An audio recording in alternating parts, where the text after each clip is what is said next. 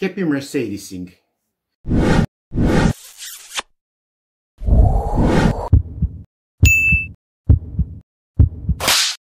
In this video I would like uh, to comment uh, something uh, on difficult uh, cold starts or any kind of starts. So the best thing would be for you to read the comment and uh, now I will explain it to you.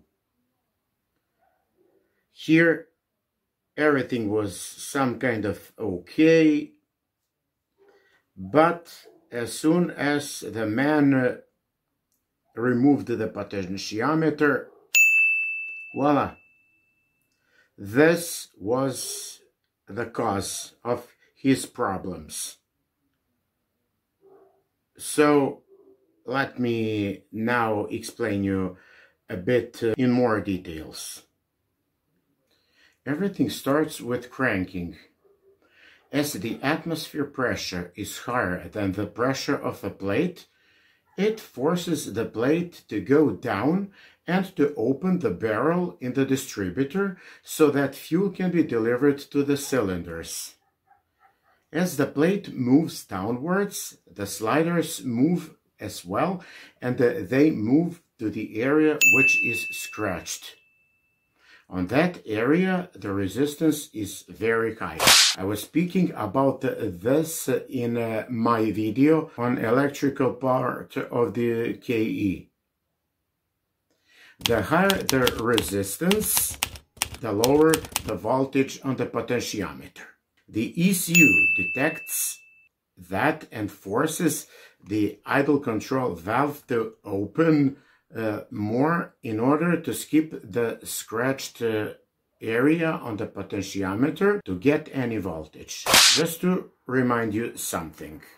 Speaking about electricity, we speak about its charge measured in amps, its potential, that's voltage, and the resistance, which is friction in ohms there can be the most powerful uh, charge in something, but if there is no potential, that charge is then useless.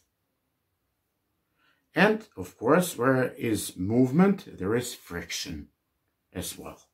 The more fri the friction, the less the voltage, the potential. Now, as the ECU detects there is no potential. It opens more the bypass channel in the ICV. The RPM rise, but as the crankshaft position sensor informs the ECU about the real revolutions per minute, then the ECU decreases the RPM and they drop to that area, to that surface where the potentiometer is then scratched. And that's why we have then shaky engine, poor idle, the car that stalls, and that kind of a potentiometer is only being replaced. It cannot be repaired.